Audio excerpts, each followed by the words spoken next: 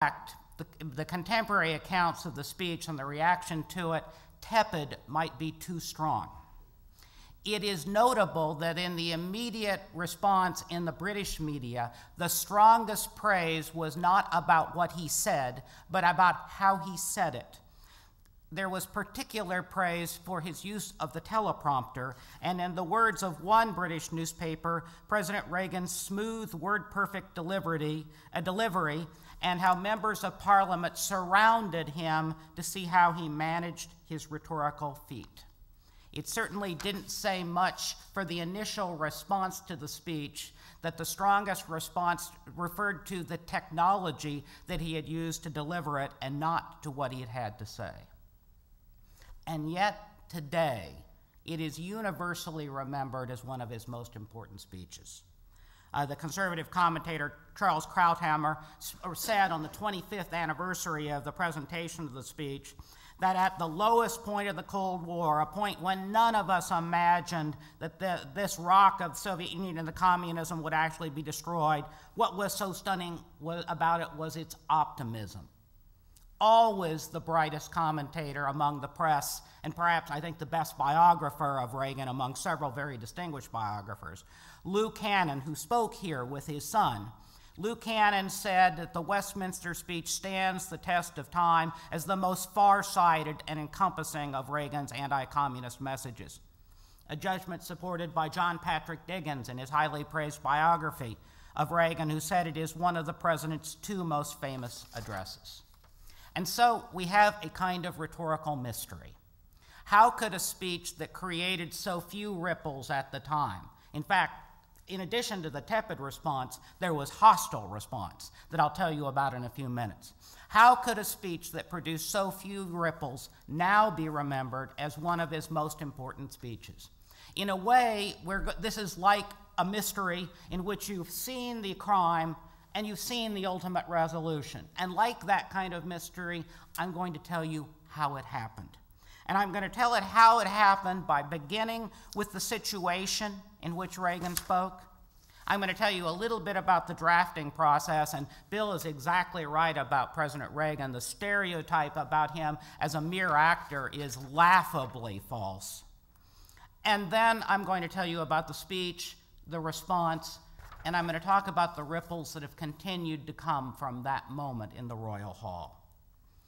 When President Ray, when, when he was then former Governor Reagan running for president, the single biggest problem he had was the perception that he would, was dangerous with nuclear weapons. In one Gallup poll, it found that 15% more people thought that Reagan was a risk of creating a war than did thought that of Jimmy Carter. And President Reagan, in some of his early rhetoric, made people very, very afraid. In a very early press conference, the new president accused the Soviets of being willing to commit any crime to lie, to cheat in order to accomplish their objectives. And despite that that was factually true, still it was viewed as quite dangerous. And so, in the immediate period, in Re Reagan faced very, very severe problems as the White House began planning for the trip. If people were afraid in the United States, and I'll give you a little bit more data about that in a moment, the problem was still greater in Europe where he was going to go, first to a G7 summit, then to Rome, then to Britain, and finally to, uh, finally to Germany. Writing in Business Week, Sol Sanders noted that the authorities in Germany worried about vast outpourings of youth and radicals who accused the U.S. of seeking world domination. There were similar fears in Great Britain. Let me read to you, and there were also many doubts about President Reagan's cognitive ability. Let me read to you what the, the, comments of a commentator who had praised Reagan's sense of mission and resilience. This is Roy Hattersley. This is the commentator who praised Reagan. He said Reagan was a man of naive ideas and simple opinions, which he holds with the certainty of a Midwestern preacher. He characterized his views as two dimensional views of life and stated that small print and philosophical arguments have never been his style. That's an ally. Richard Pipes, a Harvard professor, major expert on the Soviets, on loan to the National Security Council, He summarized it brilliantly in, in very, very few words. The English elite regarded Reagan as a dangerous simpleton. Now, the situation wasn't much better at home. Reagan, after his first year in office, according to Gallup, he had the lowest job rating of any president at a comparable period since Gallup started doing measurement. As the spring went on into 1982, the situation worsened, and, and uh, Reagan's approval rating fell to the low 40s. It got so bad that in April of 1982, 52% of the American people were opposed to Reagan running for a second term. And the New York Times quoted a, a, senior advisor to President Reagan as saying, There's no question the guy's in deep trouble. One of the reasons that he was in deep trouble was the perception, as Michael Barone noted in the Washington Post, that a great many Americans and Europeans believe that Reagan is significantly more likely than his predecessors to get us into a nuclear war.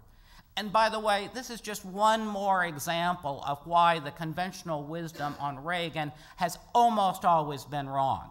Well, that was the conventional wisdom. I'll tell you a little bit more about this in a few minutes. We now know that Reagan was a nuclear abolitionist. He wanted to get rid of all nuclear weapons, and that he was the most conservative person always in the room in terms of using force. He was the least dangerous person in terms of getting us into an unnecessary war. We know that now, but we did not know that then.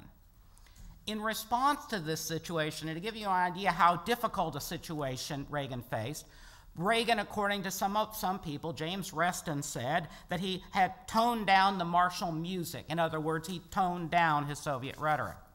This led conservatives to accuse Reagan, and this is perhaps the harshest thing a conservative can say about a fellow Republican. One conservative commentator accused him of almost Carterizing American foreign policy. Not cauterizing, Carterizing. Cauterizing would be painful, but for a Republican, Carterizing, much, much worse. It was in this situation that the drafting of the address began. The head of the White House, a speechwriting office, Aram Bakshian did the first draft, a draft that everyone agrees was bureaucratic in its nature. I suppose he might not agree. It was, by all accounts, not a very good draft, uh, and although a little bit of it made into the final speech. It was at this point that Anthony Tony Dolan did a draft of the speech and, and there is, you have to need to know that there is a distinction in the White House speechwriting office and in the White House between very true believers, not, who did not call themselves Reaganites, but often called themselves Reaganauts. And Tony Dolan would be perhaps one of the leaders of this. These are very hardline true believers and pragmatists in fact, there is an anecdote where one of the true believers, one of the Reaganauts, talks about how they had to confront their biggest enemies in the White, uh, that they had to fight in the White House, and he said those were um, the, the pragmatists, the so and so, and the Soviets. And then he said, Oh, I got those in the wrong order, meaning that the pragmatists and the White House staff were his biggest opponents. It was in this context that Dolan did a draft. Dolan says he did this draft primarily by researching other things that Reagan had said, which from my research I think is correct. It was at that point that the key moment in the drafting process occurred. President Reagan was given a copy of Dolan's draft and marked it up. I have a photocopy of that draft with me today. You cannot look at this for more than 90 seconds and believe that President Reagan was a mere actor. This was the key moment. A number of other, it goes, it goes on farther in the book. I have tried with my co author, John Jones, to trace where every paragraph came from, and mostly we have succeeded. But I can tell you some overarching things about the drafting. About 15, 16% came from the first draft, the bureaucratic draft.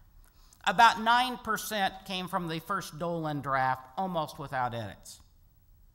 40, almost 50%, 46% was Dolan's draft as edited by President Reagan.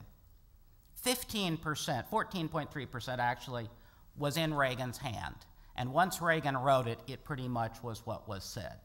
This means that Reagan either edited, sometimes quite heavily, or wrote roughly 60% of the address. What does looking at those edits tell you? The first thing it does is tell you that anything that Reagan was quite skillful in cutting out unnecessary material. He cut out a number of things in the Dolan draft that made the speech read better. Second, he was a good stylist. There are many, many edits where he, he cuts out three words and makes the sentence stronger, or he cuts out one paragraph, draws a line, and links two paragraphs together and makes them read better.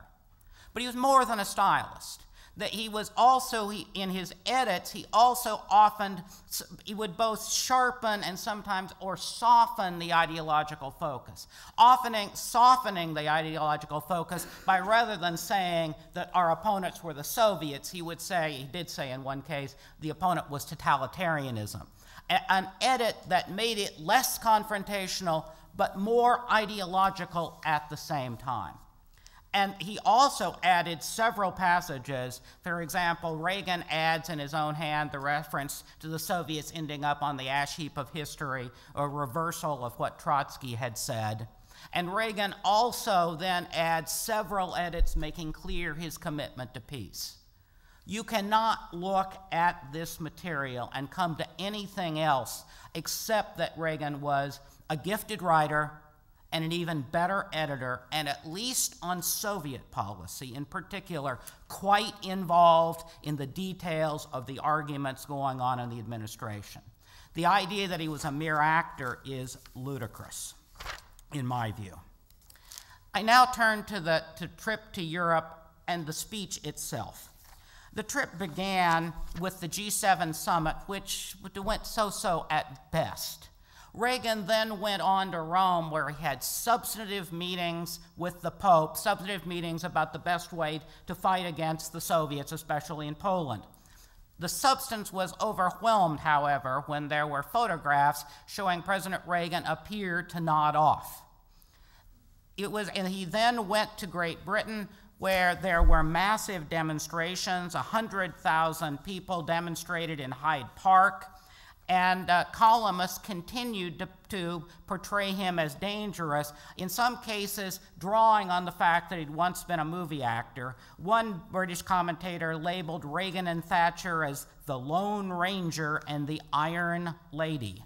Another columnist said, referred to him as Old Hopalong, and said he needed to do some fast fence mending. A former Labor cabinet member said that Reagan will go down in history as the man who has done more damage to American security than any other president in alienating opinion in Western Europe among its people. As you can see, Reagan faced a daunting situation when he strode to the stage. And by the way, when he, well, the, the dais, when he went into the Royal Hall, only about one third of the members of Parliament or the House of Lords were there. Only 30 of 237 Labour MPs even came, which I think gives you a sense of the anger level in Great Britain at that time.